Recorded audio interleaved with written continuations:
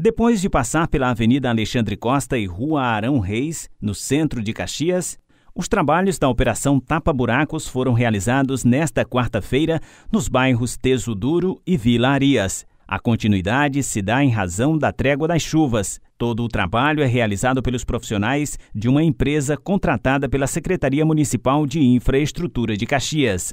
A Operação Tapa Buraco, que estamos aqui visitando na Rua do Matador, na realidade é uma sequência do que a gente vem fazendo ao longo de todo o tempo, desde 2017 que a gente está trabalhando diretamente de domingo a domingo.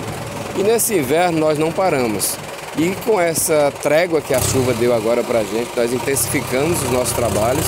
Estamos com duas frentes de serviço.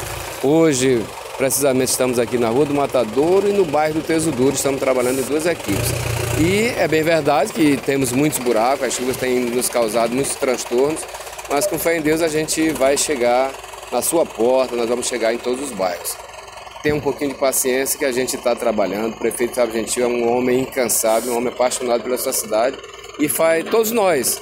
É, é, todos nós estamos fazendo isso com muito carinho e com muito, com muito afinco para a população ser beneficiada, para a população ter melhores dias. O secretário destaca que, por conta da Covid-19, houve a necessidade da redução das equipes mas a secretaria continua atendendo os casos mais urgentes. E é isso, a gente não para, a gente está trabalhando não só no asfalto, mas como na recuperação de bueiros, recuperação de pontes, recuperação de prédios.